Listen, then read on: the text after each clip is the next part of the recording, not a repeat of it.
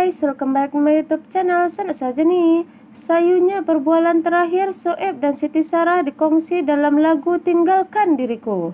Sebelum nak tonton lebih lanjut, belum subscribe tu, subscribe dulu ya dan aktifkan butang loncengnya untuk notifikasi video selanjutnya. Terdapat perkongsian perbualan terakhir Soeb bersama Sarah yang dicatat pada jam 10.26 pagi 6 Ogos 2021. Dan terharu itu antara komen yang diberikan oleh rata-rata pengguna media sosial selepas menonton video musik lagu Tinggalkan Diriku nyanyian Allah Yarham Siti Sarah.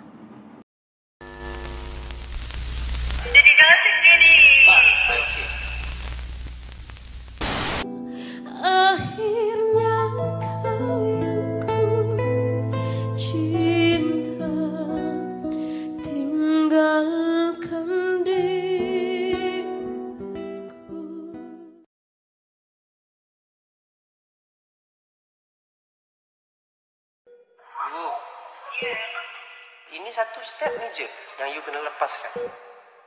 You minta dengan Allah kuatkan semangat you dan insya Allah kalau you lepas ni kita akan tengok baby kita. Okey sayang. Bu, Ya. sumpah, I memang sayang you sangat. Jangan nangis. Tak, tak nangis sayang. Sendiri. Tak, I okey. Ampunkan dosa-dosa I ni eh. I dah ampunkan segala dosa-dosa you. Bu, Ya. ini satu step ni je yang you kena lepaskan. You minta dengan Allah kuatkan semangat you dan insya Allah kalau you lepas ni kita akan tengok baby kita. Okey sayang. Bu, Ya. Sumpah, I memang sayang you sangat. Jangan nangis. Tak, tak nangis sayang. Jadi jangan sendiri. Tak, I okey. Ampunkan dosa-dosa I ni eh. I dah ampunkan segala dosa-dosa you. Love you. I love you so much. Lagu ni telah pun dirakam namun kiriman tinggalkan diriku versi live ketika menjayakan sesi latihan showcase satu ketika dahulu membuatkan suami Siti Sarah yang juga pelawak dan usahawan terkenal Sueb tampil untuk membuatkan satu musik video khas.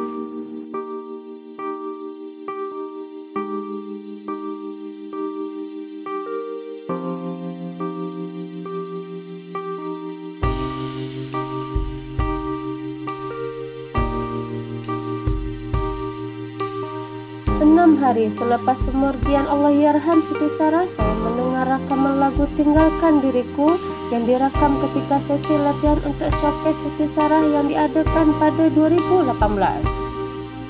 Rasa sebab, hibah dan segala rasa hadir tatkala mendengarkan semula lagu itu. Cara penyampaian Siti Sarah begitu berbeza dan istimewa sekali seakan sudah tahu apa yang bakal terjadi nanti. Bait-bait lirik yang cukup indah begitu dirasakan sekarang, kata Soeb dalam sebuah kenyataan media.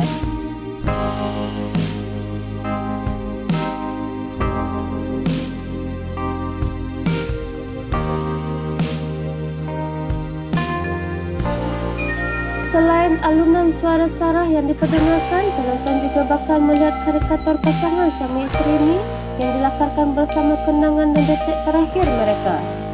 Lebih menyedihkan ketika di pertengahan lagu terdapat perkongsian perbualan terakhir Soeb bersama Sarah yang dicatatkan pada jam 10.26 pagi 6 Ogos 2021.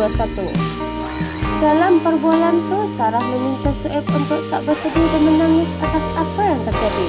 Malah Sarah turut sempat meminta maaf kepada Soeb sebelum penyanyi itu ditidurkan dan pergi buat selama-lamanya pada 9 Ogos 2021.